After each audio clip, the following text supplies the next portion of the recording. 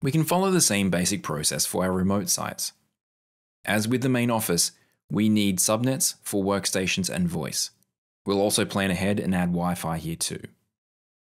There are only five users per site, so that's five workstations and five phones.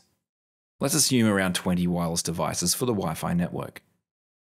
Being a retail outlet, there may be more point of sale terminals or other devices, so let's add these to the workstation count too. Now we've got that done, we can select a main network for each site. I'm going to use 172.17.00/16 for site A and 172.18.00/16 for site B. Now, isn't that overkill once again for such a small site? Yeah, definitely. It is definitely overkill. But we have plenty of private IP space available to us, and we're not using much for a small company like this. So even though it's overkill, it makes it easier on us. Anything starting with 172.17 is site A. Anything starting with 172.18 is site B. So with a small amount of hosts, we could use very small subnets. But it's better if we match the main office. Yes, it's far more than we need, but using the same subnetting scheme at each site helps to keep things organized. I'm only showing site A in the table here, but I'm sure you get the idea.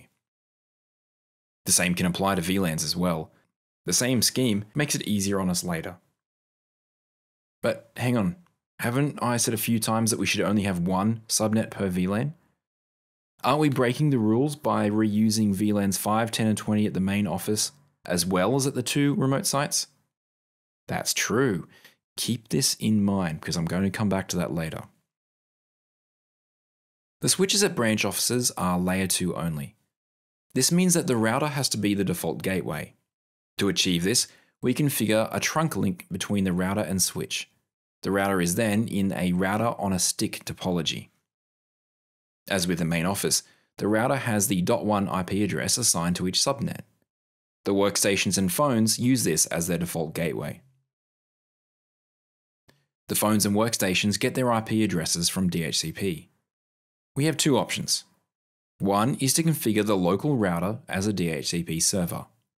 The other is to configure it as a DHCP helper, just as we did in the main office. I prefer the DHCP helper option.